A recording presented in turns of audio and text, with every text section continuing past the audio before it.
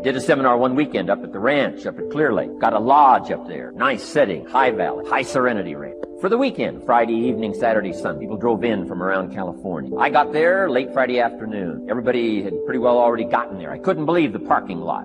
Continentals and Eldorados, Mercedes, Cadillac, unbelievable. Ferrari, one Rolls Royce, unbelievable. I walked in, good looking crowd about like this, sitting there ready for the weekend seminar. My opening remarks were, ladies and gentlemen, I think the rest of the world would find it strange that we have all come here this weekend to try to figure out how to do better.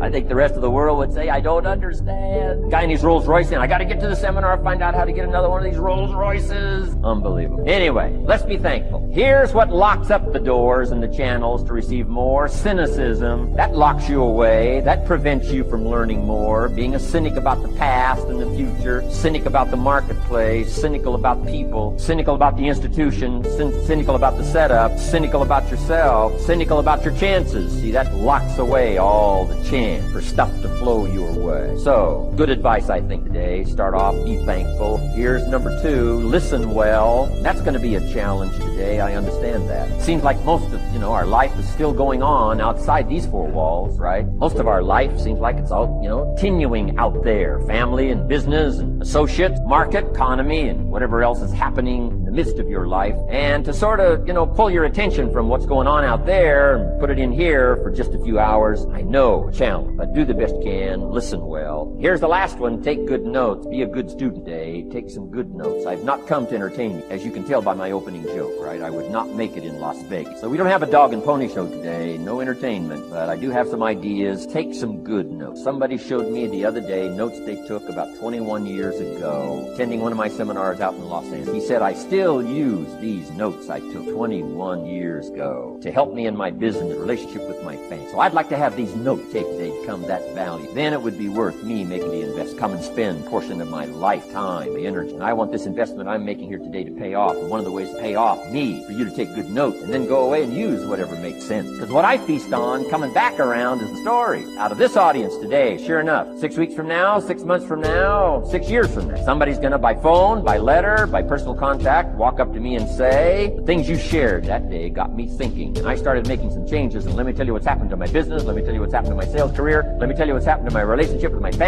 family, see, that'll make it worth me. Not the money, the return. Something you can't buy with money. Write that down. It's necessary as you look at your goals and your dreams, it's necessary that you have a, a strategy and a game plan to change the story that you believe about yourself. And that's an ongoing process. I've discovered, and many people have, that what we do, what we accomplish, what we produce is a result of the story we believe about ourselves. My favorite book says, Be ye not conformed to this world, be ye transformed by the renewing of your mind. And so as I began to work on myself, I realized that I'm getting out of one story and stepping into another story. As I become aware of some things, there's still some things I'm not aware of. So I still, I'm still growing. I'm still developing. I'm like the lady who said, Lord, I ain't what I want to be, ain't what I'm going to be, but thank God I showed what I was. But I realized that, that you have to work on yourself on a regular basis and write this down for mental mindset for mental mindset and stamina because things are going to happen to you. I don't believe, I believe that the reason that most people go to their graves with their talents and abilities and skills in them is because of the fact, number one, many are like me. They didn't know that they didn't know and, and thought they knew. I thought I knew myself and I really didn't know myself as well as I thought. I've discovered that sometimes people can take you to a place within yourself that you can't go by yourself. The other reason is I was afraid. I never worked for a major corporation. I wanted to speak for corporations. I was afraid I would, I would be exposed because I don't have a college education. I felt inferior because of the fact that I don't have a college education.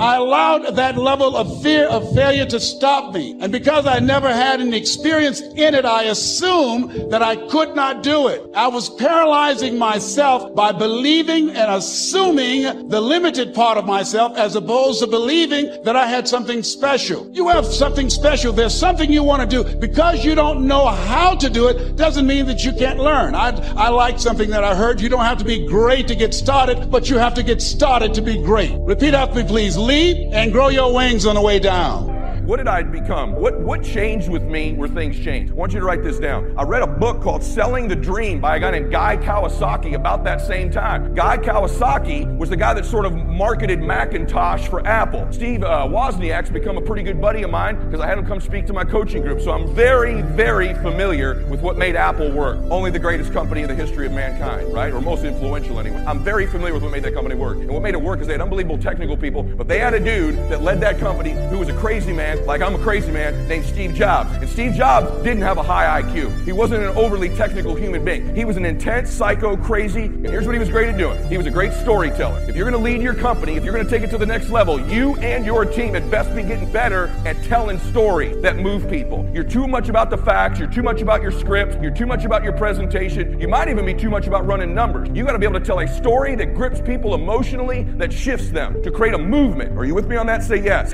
You're like, what's that got to do with roofing and all this other stuff? It has everything to do with it. Everything to do with it is a story you tell and how you frame things that gets me to not only participate, but close now and refer you to people. So you think, well, I don't, that doesn't matter. We're doing well. You can always do better at this. Write this down. The greatest leaders are evangelical about their cause. They are cause oriented leaders. They find a way to take an average, ordinary product and somehow build a movement and a cause around it by becoming evangelical about their cause. Evangelical about the money your people might be able to make, or evangelical about the difference you and your company make for families. To the extent you get good at becoming an evangelical leader, is the extent that you'll be successful. I'll submit this to you because it's mainly men in here. To the extent that you'll be a great father, great leader of your home and your family, is to the extent that you can become evangelical about the cause and the mission your family's on. I'm constantly telling my children, we're going to do something awesome. Our family's special. Since my son was a little boy, every night he go to bed, you're a leader, you're a gladiator, you're the greatest of all time, Max. We're going to do something great as a family. I tell my daughter that all the time, right? Why? No one told me that crap when I was growing up. I had an alcoholic dad. No one told me. I just hope he came home and didn't get mad. So are you evangelical about your life, about your cause, when people get around you? Maybe you're not loud. I'm not, just so you know, when I walk off this stage, I'm the most introverted person in this room. Ask anybody who knows me. If I'm at a party, I don't talk. I'm quiet. If we were at the mall, brother, and we went to high school together and I saw you, I'd love to connect, but I'm so quiet and introverted, I duck into a store to hide so we don't have to connect. But I had to learn to be a storyteller. I had to learn to transfer energy, to express myself. And I'm not capable of talking about crap I don't believe. I wasn't raised that way. But if you get me believing it, you get me talking about my faith, my family, any New England sports team, and my companies, I will move you. I will move you emotionally because I'm an evangelist about my cause. So, what do those leaders have in common? If we go back look at there, what does Steve Jobs, Oprah Winfrey, my dumbass, Elon Musk, I use Rachel Hollis, and sweet Kris Jenner, who's my neighbor, who, what do we all have in common? How about this group? Andy Frisella. I purposely put him next to Mother Teresa because I think that's hilarious, right? If you know Andy, he's my business partner, one of my companies. Mark Zuckerberg, and this ain't a political statement. I don't like anything Facebook does. I just have it there for that reason. MLK, who's my hero. Dwayne Johnson, not real happy with him lately either. And Martha Stewart. What do all those people have in common? In different ways, they became evangelical about their mission and their cause and their company. And that will be the separator for you. You want to build a great company, a great life, a great family, great wealth? I'm evangelical about all of it, all the time. That's a very specific word, by the way, evangelical. What do all they have in common? You got that. What's an evangelist do? A person who seeks to convert others, especially by public preaching, a zealous advocate of a cause. That's what an evangelist does. You must speak about these things, write about these things, post on your social media about it. When your people get around you, it's infectious and repetitive, and you don't tire of saying it over and over. I like when my guys roll their eyes at me. Here he goes again. This is the mission we're on. This is what we're going to do this year. And they're rolling their eyes, and I'm just putting it in their consciousness again and again and again because I'm relentless about it. Amen? Yes, yes. So, why? Because our obsessions become our possession. It is not in your current situation or your current paycheck. And if you've been living like that, you have then restricted yourself to a commonality that is really not yours. Because what really God got for you is really in your imagination. Now, since there's a lot of church folk in here, let me tie that to a script because this when you really start affect black folks. See, y'all really believe nothing till you're tied to some type of church thing. So let, let's just go on and do that. And once again, before I start this, I am not a pastor or a priest, and I can talk for a very small amount of time without cussing. So it's really